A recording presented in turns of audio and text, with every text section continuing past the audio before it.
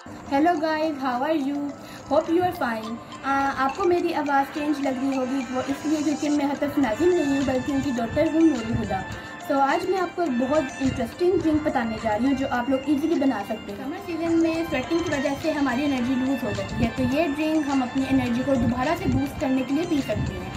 ये drink actually मुझे मेरी मम्मा ने सिखाया था, जो कि मैंने खुद भी सीख लिया है, वो इसलिए ताकि मैं अपने मामा बाबा को भी बना के पिला सकूँ तो अब इसके जो मेन इंग्रेडिएंट्स हैं वो मैं आपको बताती हूँ। इसके मेन इंग्रेडिएंट्स हैं मैंने फोर पीच डाले हैं और वन बिग मैंगो डाला है।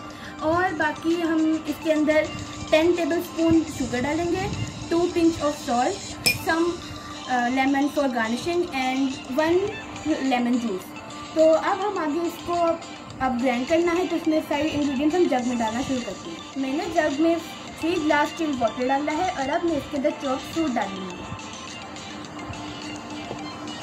तो अब मैंने इसके अंदर सारा फ्रूट डाल दिया है और अब मैं इसके अंदर टेन टेबल स्पून की शुगर डालूँगी।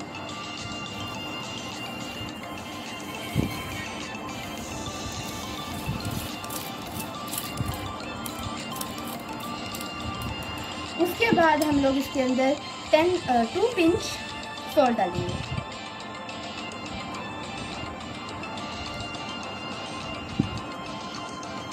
उसके बाद अब हम लोगों ने इसके अंदर डालना है one lemon juice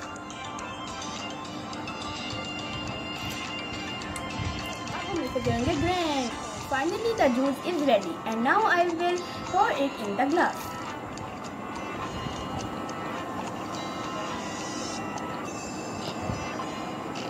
now I garnish the glass with the lemon. Like this. And this is ready for drink. Uh, so the drink is ready. So you can try it at home. Uh, it is very tasty and yummy. So don't forget to like and subscribe our channel and press the bell icon. Allah Hafiz